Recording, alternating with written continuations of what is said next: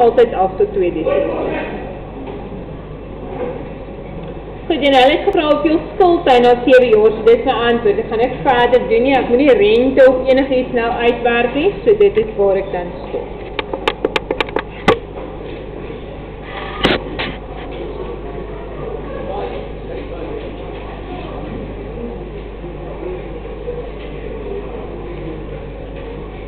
Oké, okay, daar is 'n maklike ou enetjie nommer 20. Dewel betaal R4320 um, huur per maand. Wat sy huur vir jaar?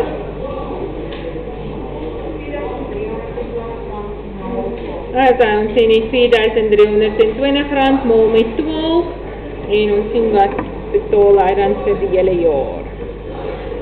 En dit is dan R51840 per jaar.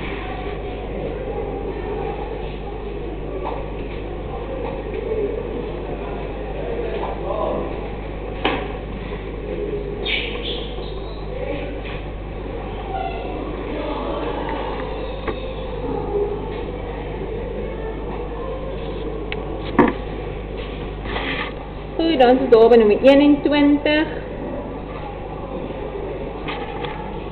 O, oh, ek wonder of ek nou op die regte een is.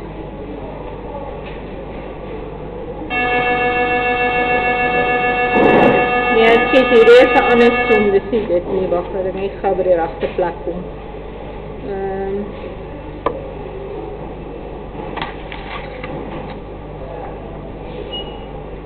Ek het een geskiep dalk. O ja, ek het skiet, daar's nog 'n 20.2. Dis hierdie enetjie. Ja. So 20.2 sê Indien sy hier aan die einde van die jaar met 5% verhoog, wat is sy nuwe maandelikse huur wat hy dan sal moet betaal? So die einde van die jaar verhoog sy hier met 5%, wat gaan sy nuwe maandelikse huur dan wees?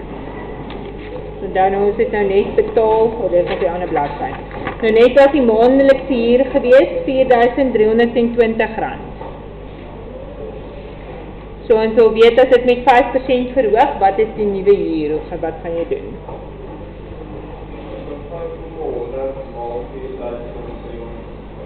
En dan tel ons dit net by.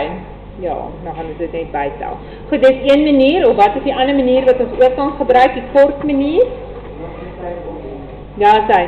Ons sê ons het 5% bygekry. Dit was 100%. Nou is my nuwe ene 105%.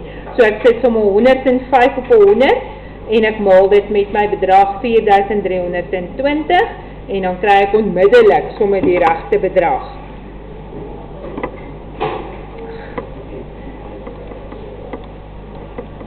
En dan is my nuwe maandelikse huur nou 4536 Maar dit is nie verkeerd as jy 5 op 100 vat, maal dit en tel dit dan by nie, om net onthou om by te tel, net nie vergeet om by te tel nie. Goed, die volgende enetjie is dan nummer 21.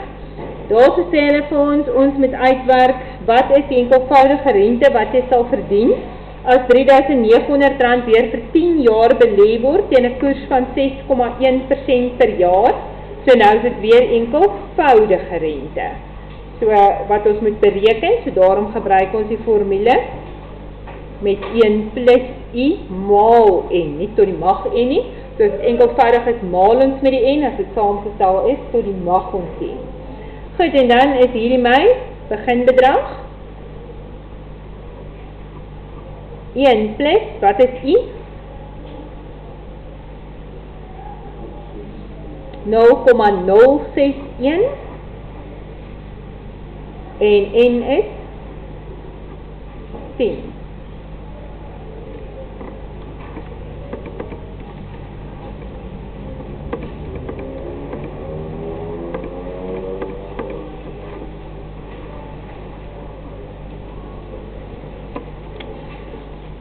Ek kry 6279.